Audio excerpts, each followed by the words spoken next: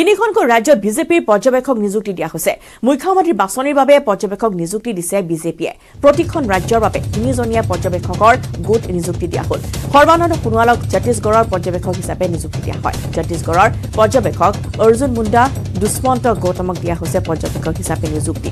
মধ্যপ্ৰদেশৰ পৰ্যবেক্ষক মনোহাৰ লাল খট্টাৰ কে লক্ষ্মণ আশা লাকৰাও আছে পৰ্যবেক্ষকৰ দায়িত্বত ৰাজস্থানৰ পৰ্যবেক্ষকৰ দায়িত্ব দিয়া হৈছে ৰাজনাথ সিং আৰু বিনোদ টাউৰিক সৰোজ পাণ্ডেকো নিযুক্তি দিয়া হৈছে ৰাজস্থানৰ পৰ্যবেক্ষক হিচাপে।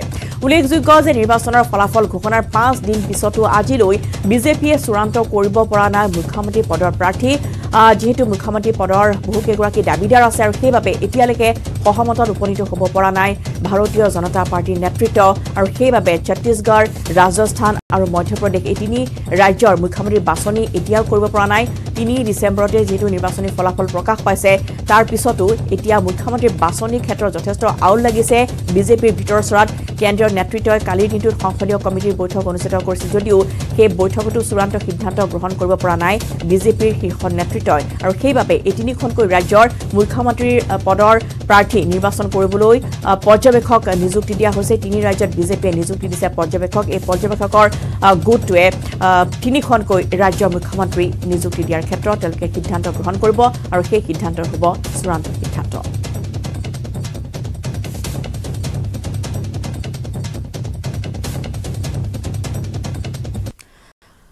ৰাজস্থানত কোন হ'ব মুখ্যমন্ত্ৰী? ৰাজস্থানত বসুন্ধৰা ৰাজী হ'ব নেকি পৰৱৰ্তী মুখ্যমন্ত্ৰী?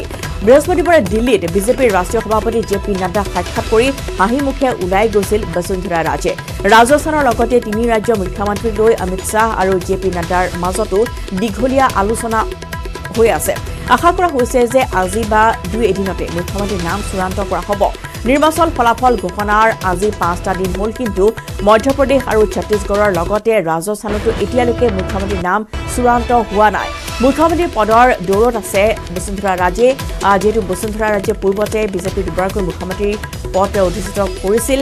কিন্তু নতুন মুখৰ যিটো সন্ধান বিজেপিৰ নেতৃত্বই এইবাৰ কৰা বুলি চৰ্চালৈ আহিছে ৰাজনৈতিক মহলত। গতিকে সেই ক্ষেত্ৰতো তেওঁলোকে আচলতে চূড়ান্ত সিদ্ধান্ত গ্ৰহণ কৰিছে নে নাই সেয়া এতিয়াও স্পষ্ট হোৱা নাই।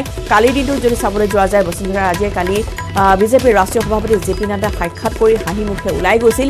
গতিকে সেই দৃশ্য দেখাৰ পিছত এতিয়া সকলোৱে ক'ব বিচাৰিছে যে বস- বসুন্ধৰা ৰাজে হয়তো ৰাজস্থানৰ পৰৱৰ্তী মুখ্যমন্ত্ৰী হিচাপে পুনৰ শাসনভাৰ গ্ৰহণ কৰিব। কিন্তু শেষ মুহূৰ্তত কাৰ নামত ঘোষণা কৰা হয় সেয়াই উৎকণ্ঠা এতিয়াও প্ৰতিজন প্ৰত্যাশীয়ে এতিয়া ক্ষণ পাৰ কৰিবলগীয়া হৈছে। কিন্তু যোৱাবাৰ বসুন্ধৰা ৰাজে নেতৃত্বৰ ৰাজস্থান হেৰুৱাইছিল বিজেপিয়ে। কিন্তু বসুন্ধৰাৰ সমৰ্থকৰ মতে ৰাজস্থানত যিহেতু প্ৰতিবাৰে চৰকাৰ সলনিৰ পৰম্পৰা আছে সেয়েহে যোৱাবাৰৰ পৰাজয়ৰ ভাৰ ৰাজেৰ মূৰতে জাপি দিয়াটো উচিত নহয়। আৰু সেই দিশেৰে বসুন্ধৰাৰ প্ৰতি বিজেপি নেতৃত্ব এইবাৰ কিমান সুপ্ৰসন্ন হয় সেয়া সময়তহে লক্ষণীয় হ'ব। মুখ্যমন্ত্ৰী পদৰ দৌৰত আছে আন কেইবাজনো।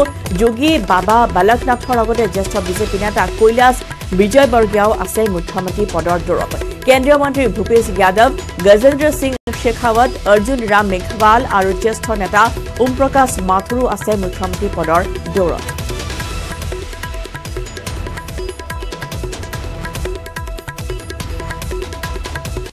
আৰু মধ্যপ্ৰদেশত আচলতে কোন হ'ব মুখ্যমন্ত্ৰী মামা শিৱৰাজ নে সিন্ধিয়া মহাৰাজ ইয়াক লৈ এতিয়া বিজেপি নেতৃত্ব ঐক্যমতত উপনীত হ'ব পৰা নাই। কালিৰ যিখন কমিটি যিখন সংসদীয় কমিটিৰ বৈঠক অনুষ্ঠিত হৈছে তাত প্ৰধানমন্ত্ৰী উপস্থিত আছিল। গৃহমন্ত্ৰী উপস্থিত আছিল লগতে ৰাষ্ট্ৰীয় সভাপতি জে পি নাড্ডা উপস্থিত আছিল কিন্তু তাতো তেওঁলোকে চূড়ান্ত সিদ্ধান্ত গ্ৰহণ কৰিব পৰা নাই। যিহেতু শিৱৰাজ সিং চৌহান থাকিব নে নতুন এগৰাকী মুখ এইবাৰ দিয়া হ'ব য'ত তালিকাত নাম আছে জ্যোতিৰাদিত্য সিন্ধিয়া নৰেন্দ্ৰ সিং টোমৰ কৈলাশ বিজয়বৰ্গীয়াৰ নাম আছে। গতিকে মধ্যপ্ৰদেশতো কোন হ'ব মুখ্যমন্ত্ৰীৰ লৈ মুখ্যমন্ত্ৰী তাক লৈ এতিয়া পৰ্যবেক্ষক যিহেতু নিযুক্তি দিয়া হৈছে আৰু আশা কৰা হৈছে যে দুই এটা দিনৰ ভিতৰতে এই তিনি ৰাজ্যৰ মুখ্যমন্ত্ৰীৰ নাম ঘোষণা কৰিব বিজেপি নেতৃত্ব।